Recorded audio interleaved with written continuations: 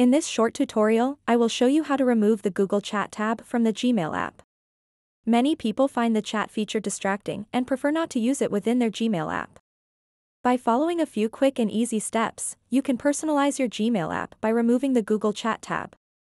To get started, open up the Gmail app and then tap on these three lines at the top left corner of the screen.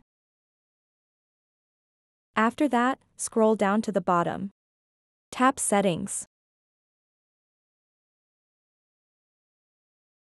Once you are on the settings page, you'll see a section called Apps in Gmail, and in that section, you'll see an option called Chat. Just tap on it. To remove the Google Chat tab from the Gmail app, simply toggle off this switch over here.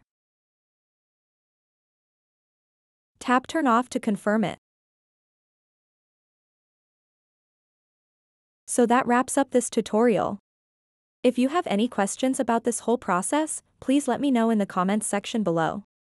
And if this video helped you out, please give it a big thumbs up and subscribe to this channel for more tutorial videos like this one.